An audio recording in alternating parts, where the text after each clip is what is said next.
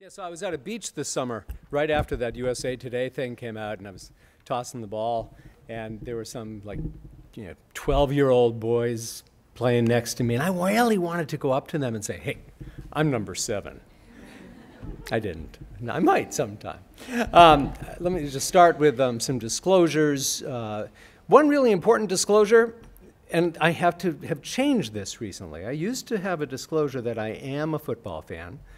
Um, and it's really uh, only in the last few months that I've kind of been changing this a little bit. And I guess I, I have to say now, I was a football fan, but this was not too long ago. This was the last real Super Bowl, the one that the Patriots played in in Arizona a year and a half ago.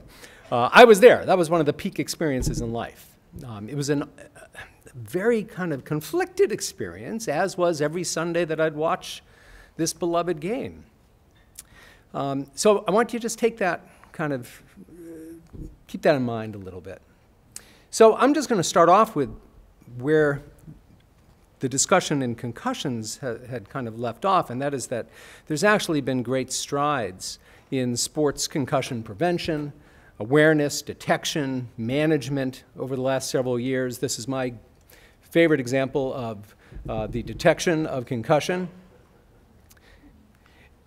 Here's another disclosure. I actually know very little about concussions. I uh, am a neurodegenerative disease person. I'm not a concussion uh, expert, though people think I play one on TV. Uh, the, the, real people here, like Doctors Brenner, Floyd, Levin, are the experts in concussion. I focus predominantly prior to the last few years on Alzheimer's disease. But here's another very important and kind of um, uh, difficult thing to disclose. I'm actually not very concerned about concussions when it comes to the later life neurodegenerative diseases that I'm going to talk about. And what do I mean by that? Well, let's think about the overall amount of repetitive head impacts. Some of them are just going to be a single, or hopefully not more than one, moderate to severe traumatic brain injury. And then you've been hearing about the symptomatic mild traumatic brain injuries, concussions. Those just really scratch the surface. It's all that stuff underneath that Dr. Levin was describing about the subconcussive impacts that we just don't know a lot about. What we think they are is an impact to the brain with adequate force to have some kind of effect on neuronal functioning, but without those immediate symptoms of concussion. And there are indeed some sports and some positions that are very prone to it. Think about football linemen. Every play of every game and every practice, what they're doing is they're down in the three point stance and they then go head to head. Many of these folks have around 1,000 to 1,500 of these types of hits per season at around 20 to 30 G in force. If you think about younger you know, kids who play both sides of the line, it's even more than that. In high school players, it was a, a, study by Broglio and colleagues just looking at high school players, not, not college or above, where they put accelerometers in helmets. This is a common way to study this, this type of thing, is by putting these gizmos in helmets to measure the amount of force. And in high school players, in one season, uh, on average, there were 652 hits to the head in excess of 15 G. One player on the team had over 2,000 of those things. College players, it's much higher than that. And now there's growing evidence um, that after one season alone, these repetitive subconcussive hits can indeed lead to cognitive, physiological, structural brain changes. Some of these things Dr. Levin already referred to, including this recent study from Wake Forest. I won't uh, belabor it, but this was a, a, scary one where kids who did not have any concussions, and they were watched closely through the season, um, the amount of hits they got through these measurements through accelerometers was directly associated with the amount of white matter microstructural uh, integrity change using uh, diffusion tensor imaging. All right, so the big question then is do these concussive and perhaps more importantly subconcussive hits lead to neurodegeneration?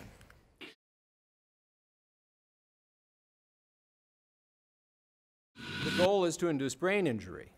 Um, and we've actually known for quite a long time that the repeated impacts to the head that boxers get actually do have some long term consequences. Back in 1928, uh, in our beloved Journal of the American Medical Association, JAMA, uh, there was an article called Punch Drunk, in which the long term consequences of boxing was described with such wonderfully scientific terms as goofy and slug nutty. Um, and as the person uh, got older, they required institutionalization in an asylum for dementia. That was then referred uh, in 1937 as dementia pugilistica, the dementia of pugilists, of, of boxing. But it was back in 1940 that the term chronic traumatic encephalopathy was first used and then more uh, routinely after 1957. And in fact, the neuropathological changes associated with this dementia from boxing uh, uh, in, in terms of CTE have been described uh, starting in the 50s and then more extensively in the 70s. But it wasn't until a beloved American football player died and was diagnosed by Dr. Bennet Omalu that things started to change. And that uh, Mike Webster, who was a Pittsburgh Steeler, who had this awful spiraling out of control life the last couple years of his life, uh, died and his brain was studied um, and was found to have CTE. So, what is CTE? It is a neurodegenerative disease that is very similar to Alzheimer's disease in many ways, but it's unique both neuropathologically and in some ways clinically. It seems to be associated with having a history of repetitive head impacts, including those concussions and subconcussive hits. And what we think is going on is that at the time of that repetitive trauma, there's the beginning of a cascade of events that eventually leads to progressive neurodegeneration.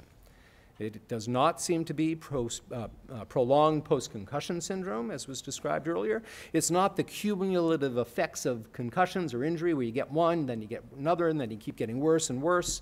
It's not actually a brain injury. It's a disease, and that disease seems to begin earlier in life, but the symptoms often don't begin until years or decades after the person stops getting hit, and then continue to worsen as the areas of the brain start to be destroyed.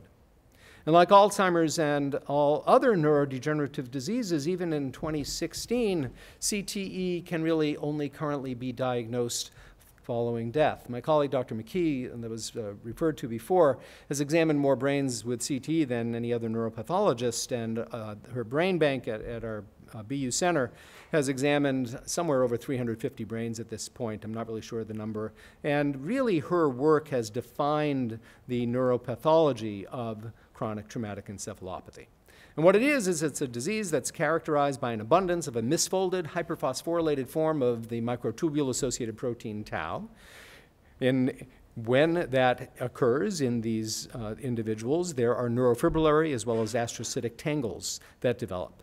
But what the unique and pathognomonic lesion of this disease is, that's different from any other disease, is that the tau deposits around small blood vessels at the depths of the cortical sulci.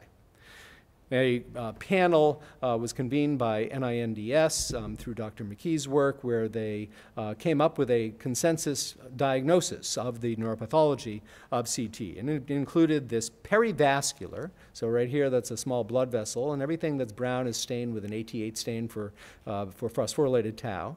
Uh, and at the depths of the cortical sulci, so that's a, a sulcus, and here's the deposition of the aberrant tau. That's the pathognomonic lesion of it. But it doesn't just stop there. This is just a, a photo scan of a, a brain um, uh, slice that's uh, stained for uh, the tau. So you can see it building up in the depths of the cortical sulci. And this brain later on, this was actually of a uh, uh, rugby player, world class uh, rugby player uh, from Australia, who died after years of dementia. He had uh, a, de a, completely devastated brain from uh, CTE. There's no amyloid, for those of you who know Alzheimer's disease, there was nothing else in there except for CTE. So, what does it look like clinically? Well, this is uh, kind of going along with the things you heard uh, previously by Dr. Brenner and Dr. Levin, uh, there are multiple symptoms and signs, and it's really hard to figure out what's kind of specific to this disease or not. So, yes, there are changes in mood, but There's all kinds of people who have these types of changes. There's changes in behavior, especially a short fuse and impulse control difficulties and aggression. Changes in cognitive functioning that include episodic memory impairment as well as executive dysfunction, and eventually dementia that can indeed look very similar to the clinician's eye um, to an Alzheimer's disease uh, dementia. Just want to make this a little kind of uh, specific with a case example. This was actually a few years ago, the first case that our group had um, of a deceased individual. This was um, John Grimsley. John uh, tragically died at age 45. He was a linebacker, pretty good one. And uh, you have to know that after he retired from the NFL, he was a very avid hunting and fishing guy. That's important to know because he knew his way around firearms. But for the five years prior to his death, um, he started having progressive short fuse, impulsivity, awful memory decline. And one night he was home alone and he was cleaning his guns like he would do on a regular basis. And he apparently neglected to take out the ammunition as he was cleaning it and shot himself in the chest and died. It was um, extensively examined as, uh, and determined not to be a suicide.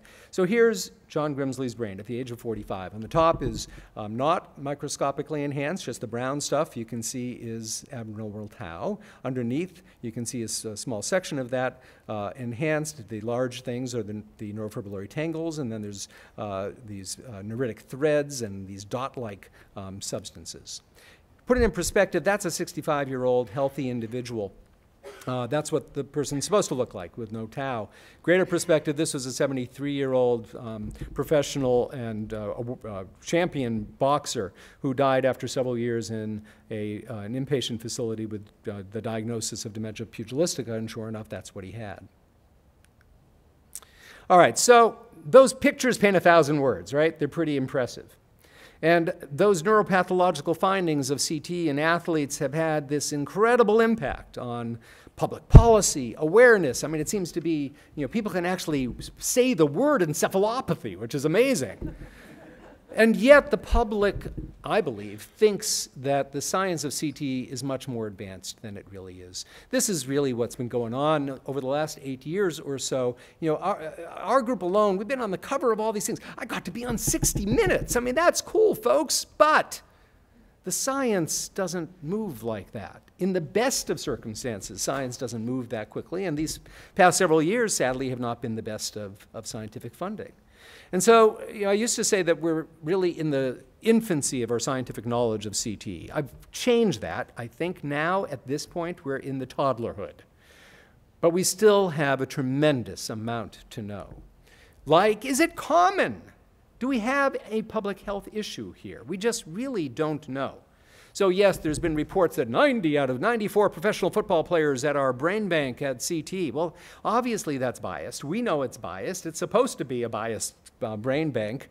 And so there's been a, an important, uh, more recent study of a larger unbiased sample from a larger brain bank where starting at 1,700 or so men um, in this uh, larger neurodegeneration brain bank, they looked at people who had a history of traumatic brain injury uh, or contact sports to jump to kind of the conclusion, what they found was 21 out of 26 former amateur contact sport athletes. These are folks who predominantly played football, only up through the college uh, level, if that, had the unique pathology of CTE. And it was never seen in anyone who had a single traumatic brain injury. All right, so if it were just um, professional football players, I'm not sure it would be as big a deal for the Society for Neuroscience to be looking at right now. Is it something more? Well, it's been found in at least uh, around 250 individuals, including a bunch of professional athletes uh, across these different uh, um, sports. In hockey, it's only been found in the enforcers, the boxers on ice. But it's also been found in people who didn't ever play in the pros, college football players, many college football players, some high school football players. It's also been found in the military.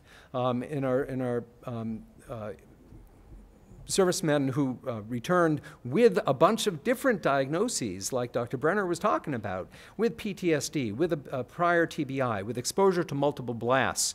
Who knows what was going on, and who knows what kind of experience or exposure they had to football or boxing prior to or during their military uh, um, history. But we've also seen it across the age span. even including down to age 17. So the question then is, why do some people get it and some people not? One thing that we do know is that all neuropathologically confirmed cases of CT have had one thing in common. They've all had a history of repetitive head impacts. So what does that translate into? It means that that type of exposure is a necessary variable to get this disease, but obviously it's not sufficient. Not everyone who hits their head a bunch is going to get this neurodegenerative disease. So we have to figure out what the risk factors are. Are there genetics? Well, we've done some preliminary work, others have too, to um, think that maybe there's some increased susceptibility in a few different genes, but more studies need to be done. But what about the exposure?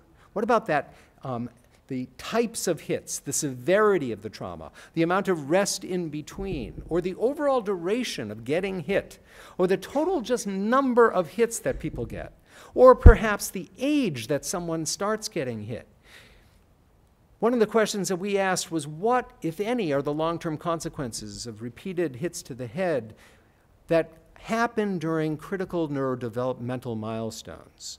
And so here's just a kind of a smattering of some of the things that Dr. Uh, Levin was talking about. During the ages of 9 to 12, there's this unbelievable development and maturation that's going on in the brain, including a lot of white matter maturation. And so a, a, PhD student of mine at the time uh, led a study, or a couple of studies, looking at this issue of does getting hit during that time period increase the risk for later life problems. So the first thing she addressed was whether um, if you get hit before age 12 over and over again through tackle football, does that increase um, having problems with cognitive functioning later in life? So we looked at a bunch of former NFL players, 42 NFL players who were paired. So 21 pairs. One guy started playing tackle football before age 12, one guy who started playing at age 12 or older. And they were we controlled for current age, for the total duration of play, et cetera. And what happened was we found that the guys who started playing before age 12 had significantly worse cognitive functioning in um, uh, using measures of executive impairment as well as new learning. So then the question was, are there also structural changes associated with this type of early um, exposure to tackle football? So Julie Stamm, uh, the same uh, PhD student at the time, uh, followed up on that initial um, paper by collaborating with some close colleagues of mine, uh, Dr. Martha Shenton, Inga Koerte, uh, at the Brigham and Women's Hospital. And what we did was we looked at um, diffusion tensor imaging um, of the corpus callosum. And for those of you who don't work in um, uh, diffusion tensor imaging, unfortunately, it does not come color-coded. I wish it did. Um, but uh, what we did was we looked at specific areas um, in terms of where the tracks uh, lead to. Uh, to kind of just summarize what the findings were is that the guys who started playing before age 12 had altered microstructural integrity of the anterior corpus callosum compared to the ones who started at age 12 or older. And so, is that kind of the big deal? No. It's a very unique cohort. Those were professional football players in middle age. What about the people who only play up through high school or college? We also weren't studying CTE. It was part of a larger study trying to um, create biomarkers for CTE, but that wasn't saying these folks have CTE. It's just saying, what about long term consequences of getting your head hit over and over again during that time period? So is that adequate scientific evidence to stop youth tackle football? Still stopping. Go, go! Oh my gosh! Still stopping. Go, go! They're eight years old. So the next stop and next uh, step in studying exposure is to try to come up with some estimate of the total number of hits someone gets throughout their career of, in this case, football. So um, a group of, of, my collaborators, an exposure scientist, Dr. Mike McClean, a biostatistician, Yorgos Tripodis, um, and an MD PhD student of mine at the time, uh, Philip Montenigro, um, did a study where we tried to develop a metric to quantify overall cumulative exposure to repetitive head impacts.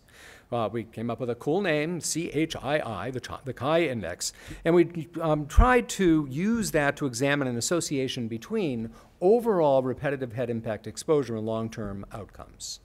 Um, I won't go into too much detail because of time, but it was a bunch of people who um, were who had only played up through high school or college football and were now examined later in life, sometime in mid age. And they had cognitive assessment and a bunch of uh, measures of depression, apathy, um, dis, uh, behavioral discontrol. And we looked at the levels of these things, of cognitive impairment, depression, et cetera, that were above clinically meaningful cutoffs. So this wasn't just a correlational study, it was looking at okay, what about risk for true clinical impairment? And what we found was there was a dose response relationship.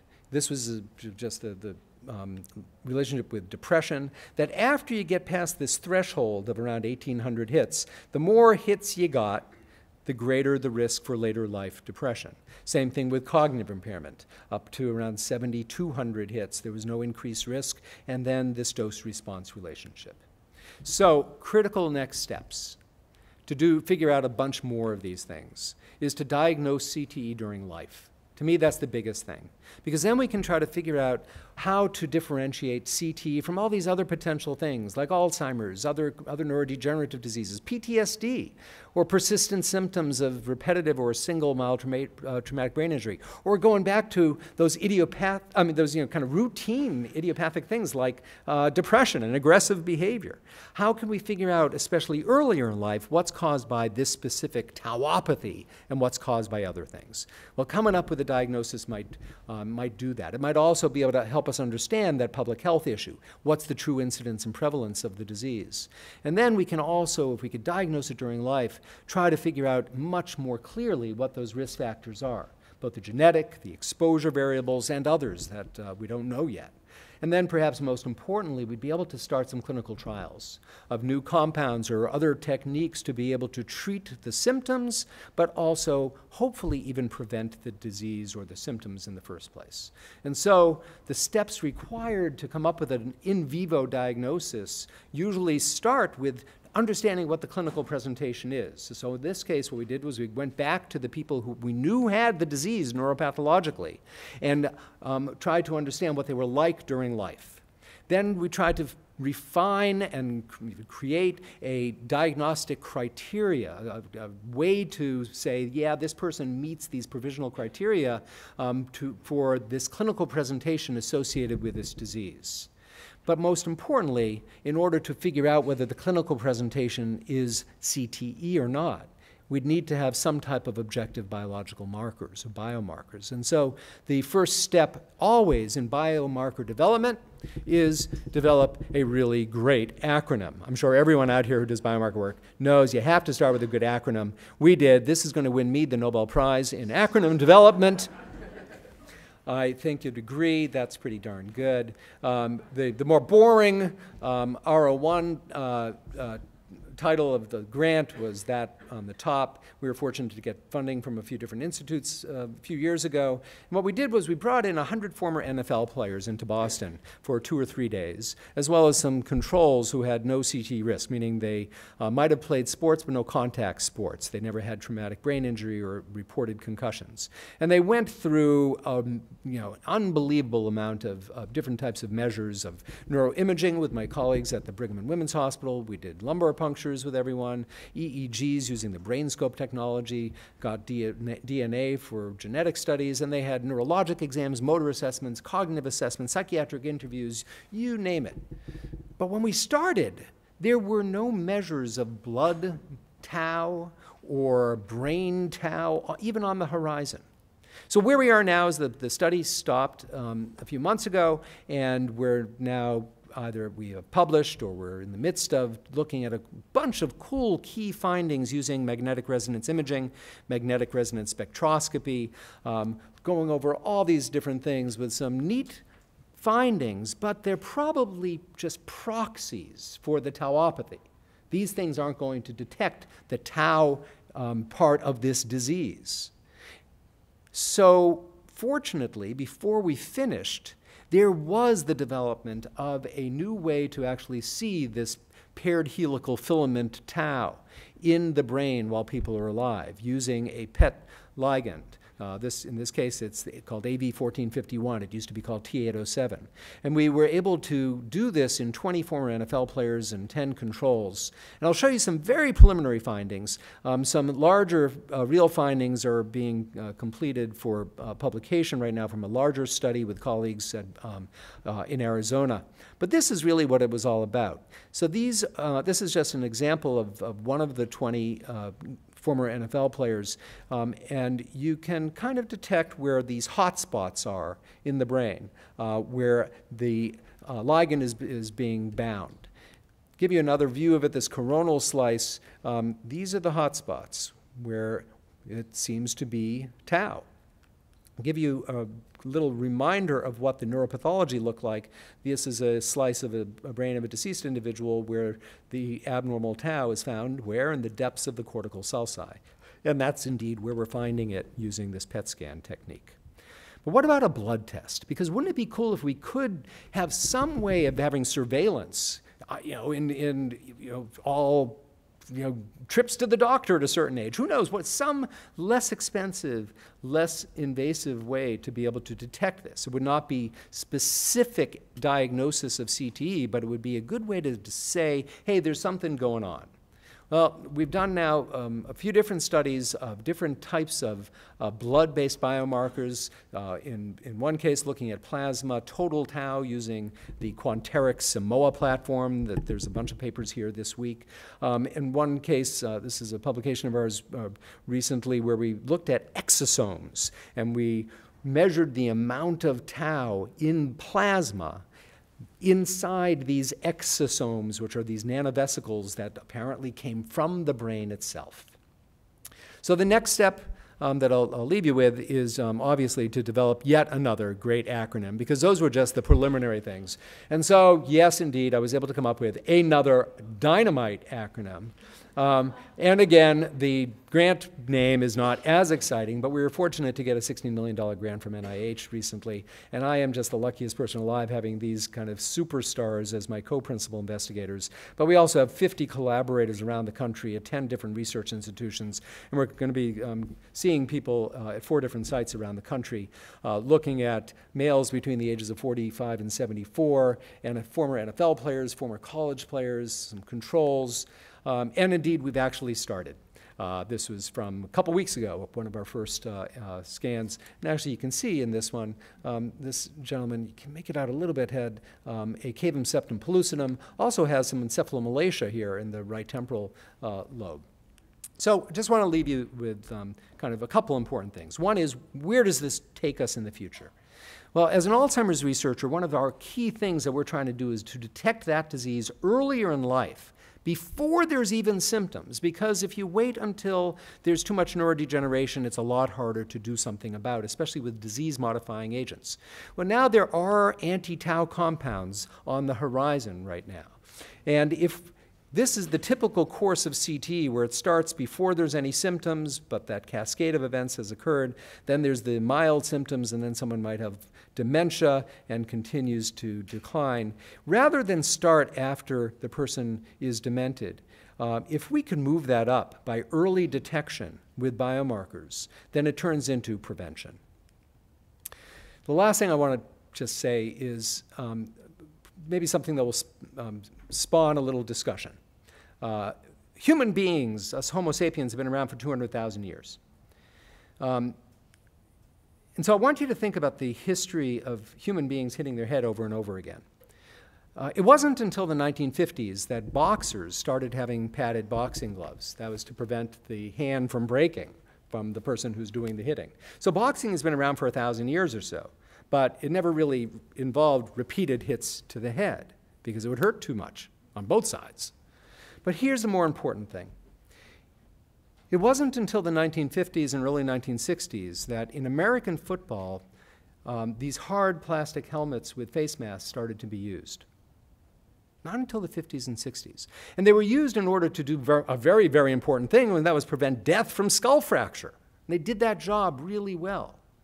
But they didn't stop the brain from moving inside that skull. And in fact, it likely allowed people to not feel pain when they hurt themselves, hit themselves over and over again. And then it wasn't until the late 1960s and early 1970s that Pop Warner football um, really began, and we started having hit kids hit their heads across the country uh, starting at age six. And so, this final thought for you is a public health um, thought that the individuals who began playing college football um, with hard plastic helmets and face masks are only now in their mid 70s. And the people who started hitting their heads in tackle football prior to high school are only now in their late 50s and 60s. And so the question then comes is are, do we have a problem coming up? Because in the 200,000 year history of, of humans, it's only in the last 50 to 75 years that we've hit our heads repeatedly and allowed our children to do so as well. So we really just don't know what lies ahead. And I'll just leave it with this. If you can't see it in the back, it says, I read that story about dementia and former NFL players. Maybe we should reconsider this. These are the people who do all the work. I just get to tell jokes. Thank you very much.